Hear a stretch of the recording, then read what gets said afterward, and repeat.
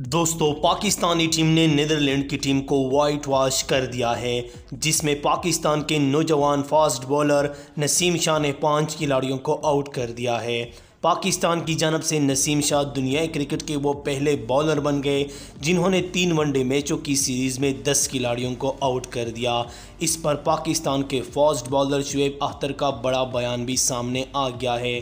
शुएब अख्तर ने इंडिया के बारे में क्या कहा है, इसके मुतालिक पूरी वीडियो आपके साथ शेयर करने वाले हैं।